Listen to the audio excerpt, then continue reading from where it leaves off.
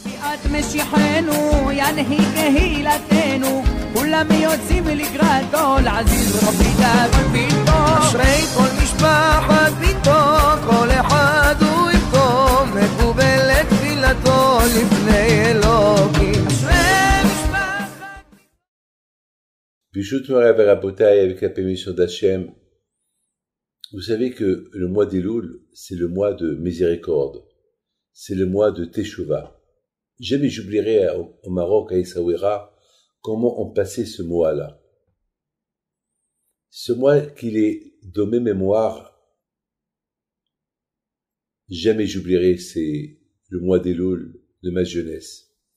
On entendait de partout les slehot, on entendait de partout les, les prières, mais c'était aussi un mois où il y avait la Iloula de Rabbi Pinto, et c'était vraiment, c'était là où, que je me rappelle, c'était un jour férié, le 26 Iloul, le jour de la Iloula de Rabbi Pinto, ben, tout le monde venait pèleriner Rabbi Pinto au cimetière, moi-même j'allais là-bas vendre des bougies, et pour m'acheter des bonbons, je profitais moi aussi, comme tout le monde.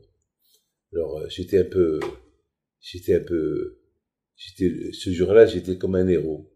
Tout le monde qui venait chez moi pour de, demander des brachot. J'étais jeune, j'avais, je sais pas, 7 ans, 8 ans, jusqu'à 8 ans et demi que j'ai quitté Issawira. Je peux pas vous dire. Mais je, je peux, tout, ce que je peux vous dire, c'est que je vendais des, des, bougies, je faisais du business ce jour-là. Et je faisais la concurrence à, à, à, à celui, celui qui représentait mon père sur la tombe de Rabbi Pindo, que les gens ils venaient chez lui et, et lui donnaient des dons pour mon père. Donc je faisais concurrence. Mais c'était c'était la jeunesse. Jamais j'oublierai. C'était des, moments incroyables. C'est ça qui m'aide aujourd'hui. C'est pour ça, vous savez, j'ai dit une fois que moi, David Pinto, j'ai tété des deux seins de ma mère deux choses j'ai tété le lait, le lait, et j'ai tété la émouna, la foi. La foi. Vous croyez que, vous croyez que pour avoir la foi en Dieu, c'est facile? Foi, pour avoir la foi en Dieu, déjà depuis que la maman elle est enceinte, il faut non seulement qu'elle allume les bougies, il faut qu'elle prie, il faut qu'elle prie Hachem, que Hachem lui donne un enfant de sadique. Et c'est ça le plus important. Qu'est-ce que vous croyez? Vous croyez que on est né comme ça On n'est on n'est pas pas des robots? Regardez, le monde entier, chacun fait ce qu'il veut. Et moi, je fais. Et nous, on fait pas ce qu'on veut. Tous ceux qui sont religieux, tous ceux qui sont attachés à Dieu, que, tous ceux qui croient en Dieu, ils ne font pas ce qu'ils veulent. Non, ils, ils savent. Le cachère à respecter, Nida à respecter, le Shabbat à respecter, et le prochain à respecter, la femme à respecter, les enfants de s'occuper de l'éducation, ne pas s'énerver lorsqu'il faut s'énerver comme quelqu'un. Hier, hier j'étais de la fenêtre, je vois quelqu'un qui, qui, passe à côté de chez moi, et tout de suite il s'est rappelé que j'habite là, et pour ne pas que, il avait peur que de, peut-être je vais, je suis je suis au balcon, je vais le voir, et tout de suite il mis une kippa jusqu'à qu'il a traversé de loin, je l'ai vu enlever la kippa. Il a peur de moi. Mais boule, il est fou. Mais moi, je suis pas un bon Dieu, moi. Il y a le bon Dieu. C'est de lui qu'il faut avoir peur. Vous savez, mes amis, le mois d'Elul, on l'appelle le mois saint. Elul, c'est un mois saint parce que c'est le mois d'Elul qui nous rend saints, qui nous rapproche vers le bon Dieu. Il y a quelqu'un qui, qui m'a posé une question. Il dit, Rabbi David, pourquoi on fait le Kaddish pour un mort? Pourquoi on fait le Kaddish? Pourquoi, pourquoi on fait le Kaddish? Le Kaddish, c'est, pour donner, pour glorifier le, bon Dieu. On fait le Kaddish. Que le nom d'Hachem, il soit grand. Alors voilà. Alors pourquoi pourquoi on, fait le Kaddish pour un mort? Le Kaddish, ça doit être pour Hachem. On sanctifie Hachem. Parce que si vous, avez le temps, lisez la traduction du Kaddish. C'est des éloges qu'on donne à Hachem. Des éloges. Alors, pour un mort, pourquoi on donne des éloges à Hachem pour lorsqu'on perd quelqu'un? Eh bien, justement, lorsqu'on perd quelqu'un, lorsque quelqu'un perd quelqu'un, et on fait Kaddish. Lorsque nous, on fait Kaddish pour quelqu'un que le pauvre, il y a, il y a des gens qui n'ont pas, qui ont pas laissé des enfants. Alors, c'est une mitzvah pour nous de faire Kaddish pour eux. C'est une mitzvah. Si vous connaissez quelqu'un qui, qui, que ses enfants, ils sont pas religieux, ils font pas Kaddish, et que, euh, quelqu'un qui a besoin d'un Kaddish, c'est une grande mitzvah pour vous de faire Kaddish pour lui, même si vous n'êtes pas perdu que Dieu préserve.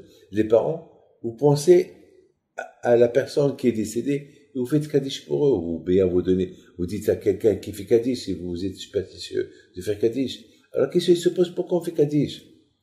Mes amis, écoutez, dis bien.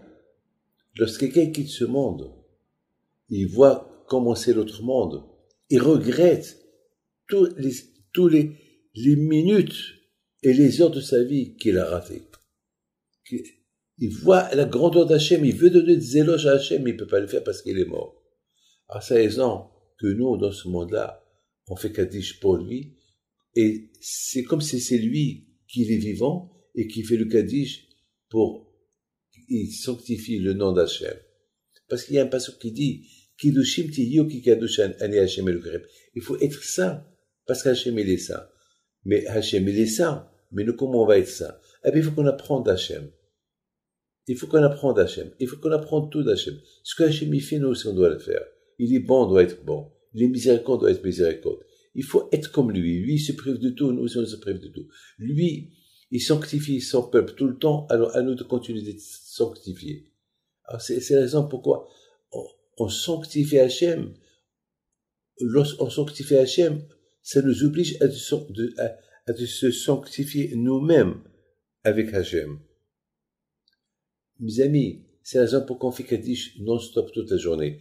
Parce que le Kaddish, c'est pas rien que une fois par semaine, c'est tout le temps. Tout le temps, doit sanctionner à Kadosh Baruch Mes amis, malheureusement, depuis le Covid, depuis ce, cette épidémie-là de Corona, euh, j'ai pas eu beaucoup l'occasion de faire Kaddish parce que j'ai pris seul à la maison.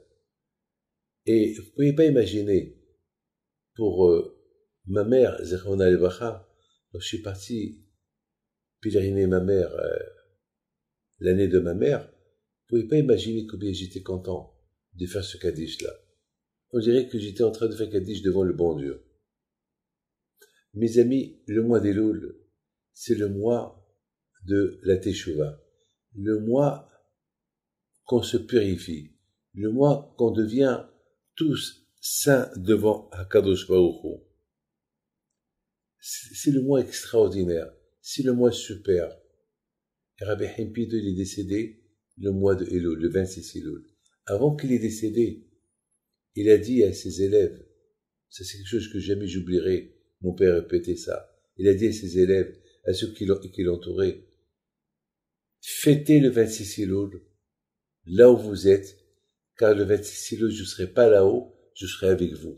Et là où vous êtes, vous m'appelez, je vous répondrai, je transmettrai toutes vos prières c'est une promesse que Rabbi Pinto a promis que le jour de son anniversaire, le jour du 26 Elul, c'est un jour qu'il consacrera uniquement pour nous et transmettra à Hachem toutes nos prières. À vous de bien prier, demandez vos demandes avec votre émona à Akadosh Que le bon Dieu vous protège. Amen.